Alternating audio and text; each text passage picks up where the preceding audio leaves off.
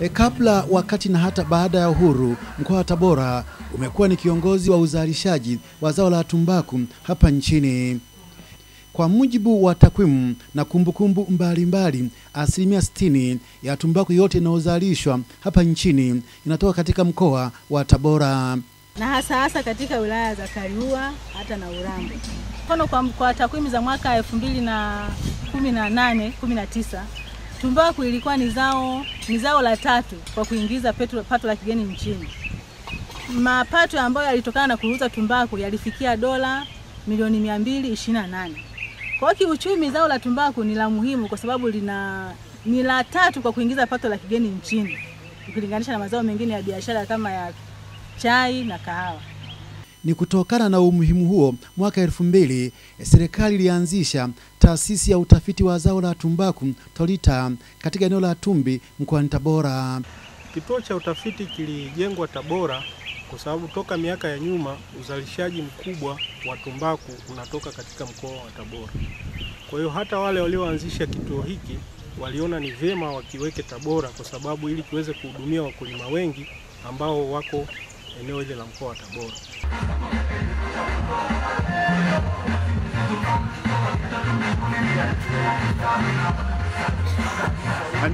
Taasisi hiyo ilianzishwa mwaka huu wa elfu mbili baada ya kupitia mamlaka mbalimbali tangu mwaka 1930 ikiwemo kituo cha utafiti wa mifugo VIC. Chimbuko kubwa la kuanzishwa kwa Tolita ni kufanya utafiti wa viatilifu, mbegu bora, mbolea na ukaushaji bora wa zao la tumbaku kwa kutumia teknolojia endelevu inayolinda mazingira. Uwepo wa kituo hiki umekuwa na faida kubwa sana kwa wakulima kwa sababu kwanza, kupitia taasisi yetu tumeweza kutoa mafunzo kwa wakulima juu ya kanuni za kilimo bora cha tumbaku. Tumefanya mafunzo kwa takribani wakulima zaidi ya elfu nne lakini pia tumetoa mafunzo kwa mabwana shamba wa serikali ambao wako kwenye maeneo yanayozalisha tumbaku. Tumewafundisha namna gani wanaweza kuwafundisha wakulima kanuni bora za kilimo cha zao la tumbaku. Kwa hii imeendelea kuleta tija kwa wakulima kwa kuendelea kufuata kanuni hizo na kuendelea kupata tumbaku yenye ubora. Katika makala haya tutaangazia utafiti unaofanywa na mafanikio yaliyofikiwa na TORITA katika utekelezaji wa majukumu yake ya kila siku, na tunaanza na mafanikio yaliyofikiwa na TORITA. Sasa tuna mbegu kumi na sita ambazo zinaweza kustahimili ukame, mbegu mpya hizi, na pia tumetoa viwango mbalimbali vya mbolea. Sasa hivi wanatumia mbolea ya NPK yenye resho ya kumi, kumi na nane, ishirini na nne, lakini katika tafiti zetu tumepata kuna resho nyingine za mbolea ambazo zinaweza kutoa mazao mengine, na pia tumefanya tafiti za madawa mbalimbali, kwa mfano dawa ya Bamethrin, tumefanya dawa ya DCC ambazo zinatumika katika kuua wadudu wa kwenye tumbaku. Mbegu ambazo tumeisha zisajili ambazo sasa hivi zinatumika eh, ni PVH pamoja na DDV ambazo hizi tulizifanyia utafiti toka mwaka 2014. Kwa hiyo zimekuwa zikisajiliwa kadri pale ambapo nani utafiti unakamilika inasajiliwa. Kwa hiyo ili mbegu isajiliwe inatakiwa tufanyiwe utafiti kwa muda usiopungua miaka mitatu. Kwa hiyo tunaifanyia tathmini, tukiona inafaa kwa kilimo cha tumbaku, basi kanuni za kuisajili mbegu hizi zinafuatwa, na kwa kupitia ta, ta, eh, TOSCI, Tanzania Official Seed Certification Institute, tunashirikiana pamoja nao kuweza kuzisajili mbegu hizi. Mbegu hizi zimekuwa na tija kwa wakulima kwa sababu kwanza zina uzalishaji mkubwa zaidi ya zile mbegu za zamani kulinganisha na zile mbegu za zamani. Kwa mfano mbegu aina ya PVH na DDV zinaonyesha kuwa na uzalishaji mkubwa kulinganisha na K326 ambayo ilikuwa ikitumiwa na wakulima. Kwa hiyo zinakuwa na uzalishaji mzuri kwa maana ya kilo kwa, kwa ekari, lakini pia zina ustahimili mzuri wa magonjwa na ukame. Hali kadhalika katika kukuza wigo wa soko la tumbaku, hivi sasa Tolita inaendelea na utafiti wa mbegu bora za tumbaku aina ya Yunani 85 na 87 zote kutoka nchini China. Huwezi ukaendeleza zao kama huna soko. Kwa hiyo serikali ya Jamhuri ya Muungano wa Tanzania kupitia rais wetu ilifanya jitihada za kutafuta soko la tumbaku, na mojawapo ya eneo ambayo ilitafuta soko la tumbaku ni nchini China. Kwa wale wa China wana mbegu zao ambazo wanazitaka, kwa sababu kila variety, kila aina ya mbegu ina sifa zake katika nikotini na vionjo vingine. Kwa wale wa China wana mbegu zao ambao wanataka ziki, zikifanya vizuri waweze kununua. Kwa hiyo walitupa hizo mbegu ili tuweze kuzijaribisha kwamba zitakapofanya vizuri basi tutakuwa tumepata soko. Kwa hiyo unaziona hizi mbegu za Yuna 85 na Yuna 87 ni mbegu za China ambazo tunazijaribisha ili kuona kama zinafanya kazi vizuri ili waweze kufikia mwafaka kuhusu kupata soko la huko China. Na hii K 326 ni mbegu ambayo ipo na inakuwa inatumika toka miaka mingi, kwa hiyo tunaifanya kama tuna tunalinganisha kwamba zinafanyaje kazi kati ya hizi za China na hii ambayo tumeizoea. Na haya majaribio hawezi kufanyika ndani ya mwaka mmoja, kwa sababu tunajua hali ya hewa ya nchi inabadilika. Mwaka huu inaweza kuwa na mvua nyingi, mwaka mwingine kuwa na mvua ya wastani, mwingine kuwa na mvua kidogo. Kwa hiyo tuna, tunayafanyia majaribio kwa angalau miaka mitatu, ndipo tuweze kutoa jibu la mwisho kwamba tuone ili hizi mbegu kwamba hizi mbegu zinafanya kazi vizuri au hazifanyi kazi vizuri. Kwa hiyo kwa mwaka huu, huu ni mwaka wa kwanza, ina maana bado miaka miwili mbele ya kuzifanyia majaribio hizi mbegu. Kama hapa tumepanda mbegu mbili, kuna Yunani 85 na Yunani 87. Matokeo ya awali yanaonyesha kwamba mbegu ya Yunani 85 ndio inafanya vizuri. Lengo hasa ni kuinua tija kwa mkulima na lakini pia kupanua wigo wa masoko kwa mkulima. Katika hatua nyingine, Torita wamekuwa wakifanya utafiti wa nishati mbadala. Kwa sababu tunajua kabisa kwamba tumbaku inakaushwa kwa kutumia kuni, na kwa sababu ya hii kunakuwa kuna kwamba tumbaku ni zao ambalo linaleta linaleta madhara kwenye, kwenye, kwenye mazingira. Katika kukabiliana na tatizo hilo, tayari e, Tolite imekamilisha utafiti wa nishati mbadala e, kwa ajili ya kukaushia tumbaku. na tume, mpaka sasa tumefanya njia mbili ambazo zina uwezo wa kukausha tumbaku. Njia ya kwanza ni njia ya kutumia makaa ya mawe na njia nyingine ni njia ya kutumia vitofali ambavyo vinatengenezwa na masalia ya mimea, kwa mfano ambavyo vinatengenezwa na vumbi la mbao. Wataalam wanaelezea teknolojia inayotumika kutengenezea vitofali vya vumbi la mbao e, kwa ajili ya nishati mbadala ya kukaushia tumbaku.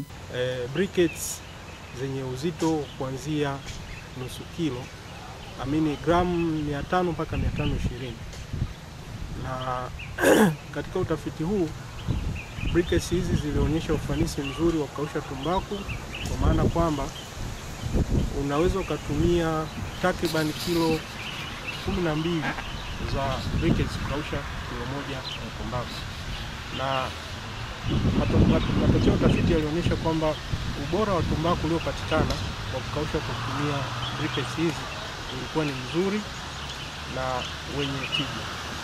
Kwa hiyo kwa maeneo ambayo yana rasilimali hii ya vumbi la mbao, wakulima wanaweza wakatumia kama nishati mbadala ya kukaukia tumbaku ili kuendelea kulinda misitu yetu ya asili.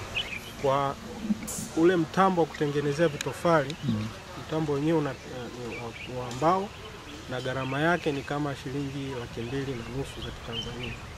Kwa hiyo ukiwa na vibarua wanne kwa siku wanaweza kutengeneza briquettes kama 780 ambayo briquette moja ina uzito wa gramu 500 mpaka 520. E, pia wanatoa ufafanuzi kuhusu matumizi ya makaa ya mawe na yanakopatikana. Tunajua kabisa kwa nchi yetu ya Tanzania yanapatikana, mengine yanapatikana Kiwila na mengine yanapatikana Songea. Makaa ya mawe ni ka, tuna tani kama mili, bilioni moja nukta tisa ambao kati yao ni asilimia 25 ni tayari yameshahakikishwa kwamba yapo. E, sasa rasilimali kama hiyo inaweza kuwa ni muhimu sana katika kutusaidia sisi kuimarisha mazingira yetu. Siku za nyuma watu waliamini kwamba makaa ya mawe hayawezi kutumika kirahisi kukausha tumbaku, lakini baada ya kufanya majaribio katika msimu wa miaka mitatu tumeweza kugundua kwamba makaa ya mawe yanaweza kutumika kirahisi sana hata na mkulima wa kawaida. E, kilo mbili nukta tano tisa ya makaa ya mawe inakausha kilo moja ya tumbaku ukilinganisha na, na kuni kwa ukitumia mabani ya, ya kienyeji yale ambayo sio yenye kuhifadhi nishati, yale yanatumia ki, kilo saba mpaka kumi kukausha kilo moja ya tumbaku. kwa hiyo ni ana hasara sana kwa mazingira. Kwa msimu mmoja natumia hekta eh, sitini na moja elfu sawa na ekari mia moja sitini na mbili elfu na mia tano. Sasa hilo ni eneo kubwa sana linalofyekwa miti na ni hasara sana kwa mazingira. Sasa kwa kutumia makaa ya mawe tutaachana kabisa na kusieka miti. Kwa hiyo kila mwaka ambao tutazalisha tumbaku tutakuwa na uwezo wa kuziokoa hizo hekta eh, sitini na moja elfu au sawa na ekari mia moja hamsini na mbili elfu na mia tano. Je, kuna tofauti yoyote ya ubora wa tumbaku iliyokaushwa kwa kutumia makaa ya mawe na iliyokaushwa kwa kutumia kuni? Kwa hiyo tulivyokausha tumbaku kwa kutumia vumbi la mbao, kwa kutumia makaa ya mawe, tukaona kabisa kwamba tumbaku inayopatikana ni ile ile bora, yani ubora wake ni ule ule na ule unaotumia na ile inayopatikana kwa kukausha kwa kutumia kuni. Kwa mfano nyuma yangu, pembeni yangu hapa pana bani ambayo natumia makaa ya mawe. Ukiangalia pembeni yangu hapa, makaa ya mawe yanaonekana yanavyoungua na yanatoa joto jingi sana. Sasa ndani ya bani kuna tumbaku ambayo inakaushwa katika kutumia taratibu zile zile za ukaushaji wa tumbaku ya mvuke. Hatua zile nne zote zinafuata za kubadilisha rangi ya jani, kuua jani, yani kuimarisha ile rangi, kukausha majani na kukausha migongo kama kawaida. Na baada ya hapo makaa yatazimwa, madirisha ya milango yata- yatafunguliwa kupoza tumbaku ili kuweza kuishusha na kwenda kuhifadhi kwenye store. Usalama na uchache wa matumizi ya nguvu kazi ni tija nyingine itokanayo na matumizi ya makaa ya mawe. Makaa ya mawe yanaweza akachochewa tu na mtu yoyote, sio, sio lazima kutumia nguvu sana kama vile unavyotumia kuchochea kuni katika mabani ya kienyeji ambayo yanatumia magogo. Kwa kawaida magogo ni lazima yabebwe na zaidi ya mtu mmoja, watu wawili watatu waweze kusindilia eh, kutumbukiza kwenye tanuru iweze yaweze kuwaka, lakini makaa ya mawe unatumia tu eh, chepeo ya kawaida tu unachukua unatumbukiza, kwa sababu tanuru la makaa ya mawe ni jembamba ila ni refu, lina urefu wa eh, sentimita mia moja. Eh, mlango wake una sehemu mbili, sehemu ya juu eh, na upana na urefu wa sentimita 30 kwa 30 na wa chini vile vile sentimita 30 kwa 30. E, mlango wa juu ni sehemu ya kuwekea mkaa. Sawa, mlango wa juu na chini unatenganishwa na na tunasema na chaga za nondo au vyuma vigumu e, ili kuruhusu majivu yanayotoka kwenye makaa mawe mawe ya- yadondoke chini kwenye sehemu ya pili ya tanuru. Kwa hiyo kwa kutumia mlango wa chini ya tanuru unaweza kutumia e, chepe hiyo hiyo kutoa majivu ili kuruhusu hewa iingie ndani ya tanuru na kusaidia uwakaji wa, wa makaa na kupeleka kusukuma joto ndani ya mzunguko wa mfumo wa hewa ya joto mpaka utakapotoka nje. Kwamba mtu mmoja anaweza akahudumia hata mabani matatu manne peke yake bila tabu, kwa sababu hatumii magogo makubwa ambayo yatamfanya achoke kuyasukuma mara kwa mara. Alafu anapotumia makaa ya mawe, makaa ya mawe yanachukua muda kuisha, sio sawa na kuni. Kwa hiyo yanaungua taratibu, lakini joto ni ni kali ukilinganisha na kuni. Kuni zina, zinaungua na moto huwa mara nyingi unatoka nje kufata gogo liliko, lakini makaa ya mawe yanaungua yakiwa hapo hapo. Kwa hiyo kazi inakuwa sio kubwa sana kwa mchocheaji. Lengo la makala haya pia ni kutoa elimu kwa wakulima wa zao la tumbaku na jamii kwa ujumla. Elimu hiyo ni pamoja na aina ya tumbaku na ukaushaji wake. Tumbaku ya mvuke ni tumbaku ambayo inazalishwa kwa kiwango kikubwa hapa nchini, na tunaita tumbaku ya mvuke kwa sababu ukaushaji wake una, tumbaku inakaushwa kwa mvuke. Ukaushaji wa tumbaku ni mchakato ambao unahusisha eh, mabadiliko ya kikemikali na kibiolojia katika jani la tumbaku na hivyo kulifanya jani, jani hili iliyo na ubora unaohitajika ikiwa na rangi ya, ya limao na rangi ya chungwa na pia kutoa kiwango cha maji katika jani ambalo ni asilimia themanini. Kwa hiyo mwisho wa siku ile asilimia themanini ya maji inatoka na kulifanya jani liwe kavu. Kuna hatua kuu nne za ukaushaji wa tumbaku. Hatua ya kwanza tunaita kubadili rangi yellowing. Hatua hii ina range kati ya nyuzi joto 90 mpaka 105 za Fahrenheit. Sasa ni mabadiliko gani yanayotokea katika hatua hii? At, eh, badiliko la kwanza ni kwamba jani litabadilika rangi kutoka rangi ya kijani kwenda njano. Badiliko la pili, kuna ubadilishaji wa wanga kwenda sukari, na badiliko lingine ni kupotea kwa maji kwenye jani la tumbaku kwa asilimia kati ya ishirini mpaka hamsini. Hatua ya pili tunaita kuimarisha rangi. Hatua hii inachukua nyuzi joto za Fahrenheit 105 mpaka 125. Katika hatua hii, mara pale unapopata rangi yako ile ya njano kwenye hatua ya kwanza, kinachofanyika kwenye hatua hii ni kufanya ule mchakato wa mabadiliko ya kikemikali na kibiolojia yasimame ili rangi hile endelee kubakia pale pale. Ndio kitu kikubwa kinachotokea katika hatua hii. Na hatua ya tatu ni tunaita kukausha jani.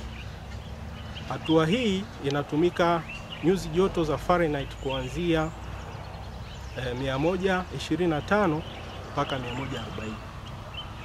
Na hatua ya mwisho ni kukausha migongo, kukausha mgongo wa jani ambao nyuzi joto zinazotumika katika hatua hii ni kuanzia nyuzi joto 140 mpaka 165 za Fahrenheit.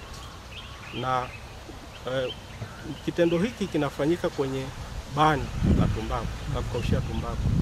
Ah, hii sasa nimeelezea ni aina ya tumbaku ya mvuke. Kwa hiyo mara baada ya kumaliza hatua yako ya mwisho utazima moto kwenye tanuru, alafu utafungua madirisha ya bani lako na mlango wa bani lako ili kuifanya tumbaku ipoe.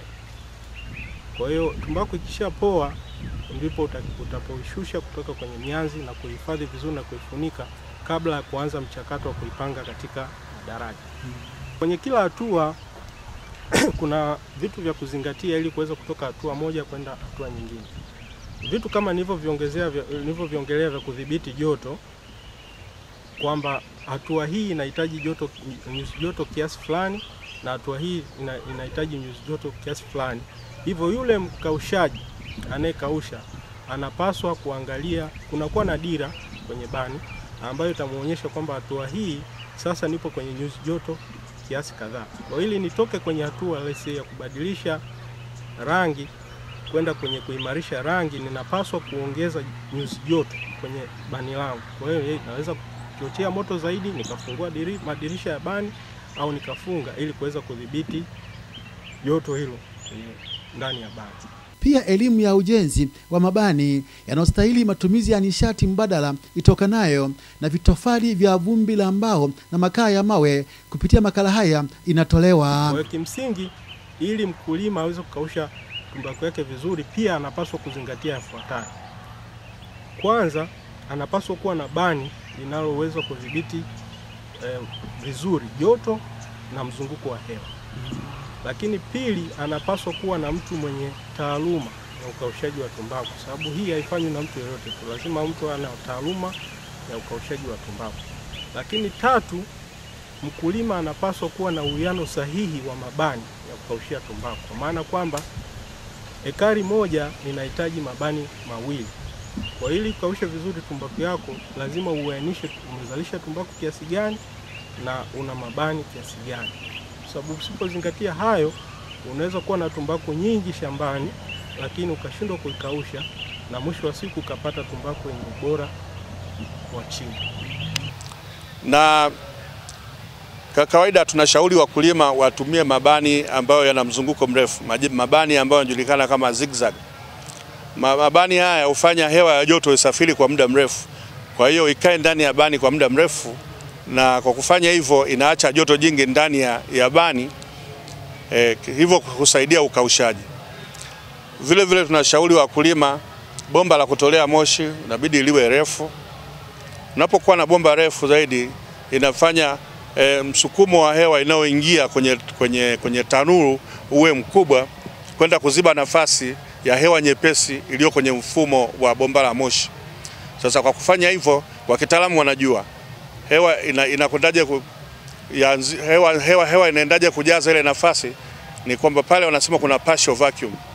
Sasa partial vacuum hairuhusiwi mle ndani. Kwa hiyo ili kuzibwa ile, ina maana hewa kutoka nje itaingia kwenye mfumo haraka na kuziba. Kwa mtindo huo, inamfanya sasa kunakuwa na mzunguko wa hewa ya joto mpaka nje bila kutumia msaada wa feni au kitu kingine. E, baada ya Tanzania kuingia katika kundi la nchi za kipato cha kati cha chini, je, nini mikakati ya Tolita kuhakikisha kuwa nchi inaingia katika uchumi wa kati wa juu? Sisi kama wadau wa tumbaku tunataka kuendeleza kilimo kwa, kutu, kwa kupitia zao la tumbaku. Tunataka kufikia mwaka 2023 tupate mbegu kwa kila eneo linalolima tumbaku, kwamba kwa mtu wa Urambo atumie labda mbegu ya DDV10, kwa mtu labda wa Mpanda atumie mbegu fulani ya tumbaku, kwa mtu wa Songea atumie mbegu fulani ya tumbaku. Kwa hiyo nataka kupata maeneo, kila eneo litumie mbegu gani ambayo katika kulima tumbaku na pia tunataka kufikia mwaka 2023 wakulima watumie mbegu ambazo zinazalishwa nchini, kwa sababu kwa sasa hivi tunatumia mbegu ambazo zinatoka nje, hatuzalishi hapa nchini. Kwa hiyo tunataka kufikia mwaka 2023 sisi kama Tolita kwa kupitia breeder ambayo tunaye pale ofisini tuweze kuzalisha mbegu ambazo hizo mbegu ndio tutazisambaza kwa wakulima waweze kuzitumia mbegu ambazo zinatoka katika taasisi ya utafiti wa tumbaku. Utafiti wa udongo ni mikakati mingine inayoangaliwa kwa jicho la pekee na wataalamu kutoka Atolita. Sisi kama watafiti tunakiendezaji kilimo cha tumbaku. Kwa hiyo tulipanga mikakati ambayo hii mikakati tulipanga ni ya miaka mitano kuanzia mwaka 2018 mpaka mwaka 2023. Kwa hiyo mojawapo ilikuwa ni kwamba kufikia mwaka 2023 wakulima yani tu, tufanye utafiti wa kuangalia rutuba inayopatikana katika maeneo yote yanayolima tumbaku, kwamba ukienda Mpanda ujue udongo wa pale unahitaji mbolea kiasi gani, ukienda Songea ujue udongo wa pale unahitaji mbolea kiasi gani. Kwa hiyo tukishapata, tutaweza kujua kwamba watu wa Mpanda wanaweza kutumia mbolea kiasi gani, watu wa Urambo wanaweza kutumia kiasi gani, na watu wa maeneo yote. Kwa hiyo tunataka tupate rutuba iliyopo katika udongo wa kila eneo na linalolima tumbaku na tuweze kujua kiasi cha kila cha mbolea kinachofaa kwa kila eneo. Na pia tunataka kufikia mwaka 2023 tuwe tumepata maabara, kwa sababu tunajua kabisa katika kufanya tafiti tunahitaji kuwa na ma ma maabara. Tunahitaji kujua kupima jani lenyewe virutubisho vyake ni vipi, tunahitaji kupima udongo na virutubisho gani. Kwa hiyo tunataka kufikia mwaka 2023 Tolita iwe ina maabara ambayo ina vifaa vyote ambavyo muhimu katika kufanya utafiti, kwa sababu kwa sasa hivi tunatumia maabara za za wenzetu kama SUA, Mlingano na sehemu nyingine. Kwa hiyo tunataka kufika mwaka 2023 Tolita iweze kujitegemea. Tuliandika nani uh, andiko serikalini la kupata pesa za maendeleo. Kwa kwa kutumia pesa zile za maendeleo na serikali ilijibu kwamba itatupa hizo pesa za maendeleo. Kwa kutumia zile pesa za maendeleo tunatarajia kujenga maabara na kununua hivyo vifaa. Pia wataalamu wanatoa ushauri kwa wakulima wa zao la tumbaku. Kabla hujapanda, kwanza utakiwa ujue shamba lako kiwango cha mbolea kilichopo kabla hujaweka mbolea, ili uweze kujua kiwango sahihi cha kuweka mle shambani. Pia uchaguzi wa mbegu bora ni muhimu zaidi, ili kuweza kupata mazao mengi, na mbegu amba, pia na usafi wa kitalu kabla hujaweka shambani. Sababu kama miche itakuwa ita, iko dhaifu toka kitaluni, ukiipeleka shambani lazima tu ile miti mingine itakufa, ndio unakuta mkulima shamba lake lina, lina mapengo na akienda akipeleka miche yake shambani, kuna hatua kwamba akishaipandikiza shambani siku saba anatakiwa aweke mbolea ya NPK. Kwa hiyo afuate hizo kanuni kwamba baada ya siku saba aweke mbolea ya NPK, baada ya siku ishirini na moja toka kupandikiza aweke mbolea ya kani na kwa kiwango ambacho kinatakiwa. Kama ni NPK aweke kwa kiwango cha gramu 30 kwa mmea, na kama ni kani aweke gramu nane kwa mmea, yani aweke kwa kiwango sahihi. Hadi siku nyingine na wakati mwingine, mimi ni Doto Elias wa TBC.